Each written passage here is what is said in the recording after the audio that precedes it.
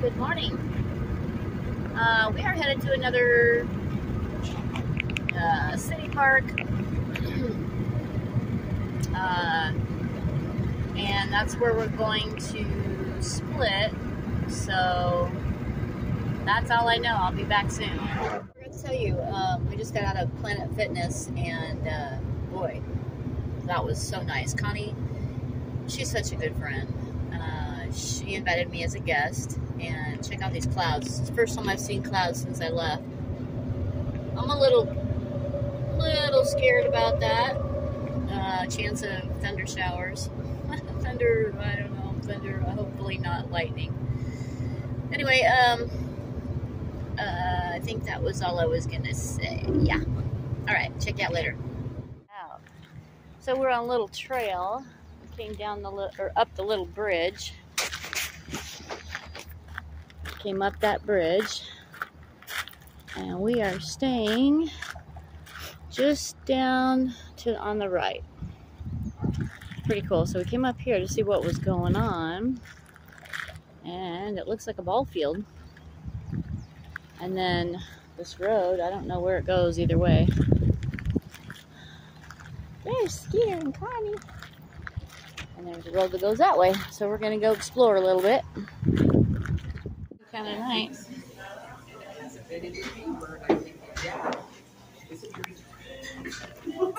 Street tacos.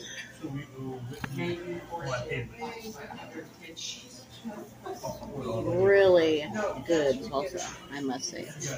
looking for the salsa. What's this place called? Oh, Pueblo Viejo. How was that for Spanish?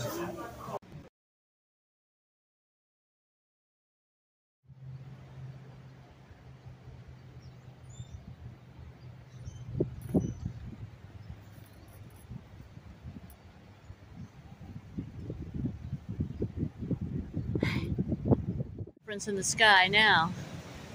And the wind. Yeah, it's coming. It was pure blue. Oh, you heard the thunder? Oh dear. Oh dear. Oh dear. it's starting to get black sky. Oh dear. Oh dear. 70 to 80 miles an hour winds. I don't even know what that feels like. Uh-oh, here they come. Here it comes!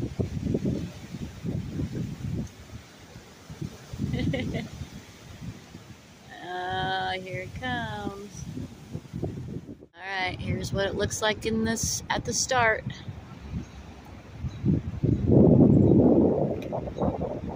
I saw lightning. Oh dear. Connie's not even worried. Oh my god, that storm right there. I dust storm when I see one. It's brown. Okay, I'm getting in the car. Bye. Just don't let one of those big branches hit my car, please. It's, it's been an awesome day.